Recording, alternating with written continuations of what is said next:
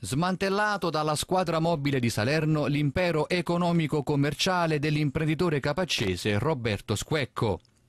corruzione, trasferimento fraudolento di valori, peculato, interruzione di pubblico servizio, favoreggiamento, disturbo delle occupazioni e del riposo delle persone e intestazione fittizia di beni, i reati contestati a vario titolo a dipendenti e legali rappresentanti di varie società autonome ma gestite di fatto dallo stesso Squecco.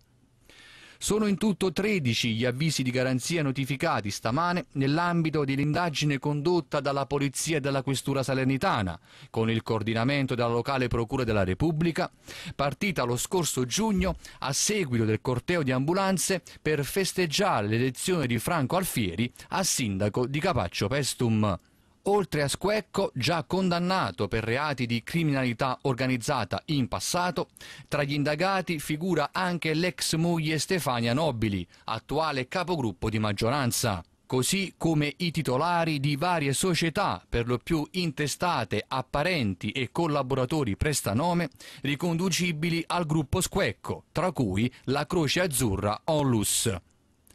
I poliziotti, infatti, all'esito di diverse perquisizioni eseguite questa mattina presso le sedi legali delle società coinvolte, il municipio e l'ASL di Salerno, hanno sequestrato 23 automezzi, tra cui 20 ambulanze, dislocate presso le sedi di Agropoli, Rettifilo e Licinella di Capaccio Pestum, di proprietà dell'associazione di volontariato con la quale l'ASL sospese ad Oras tutti i rapporti convenzionali all'indomani immagini della sfilata a sirene spiegate nel centro cittadino.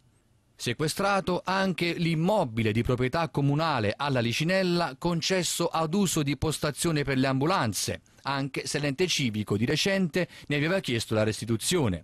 Così come il Lido Kennedy, chiuso ad inizio estate, la cui società di gestione fu colpita da interdittiva antimafia emessa dal prefetto di Salerno. È in questo caso che la consigliera comunale Nobili risulta indagata, in quanto avrebbe partecipato all'elusione delle disposizioni di legge in materia di prevenzione patrimoniale.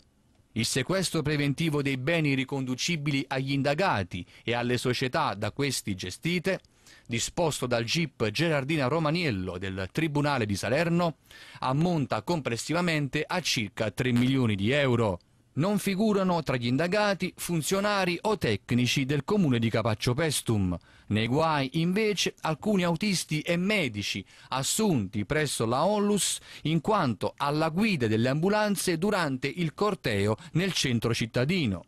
nonché per aver dichiarato il contrario agli inquirenti, ovvero per aver testimoniato che quella sera i mezzi non erano in servizio.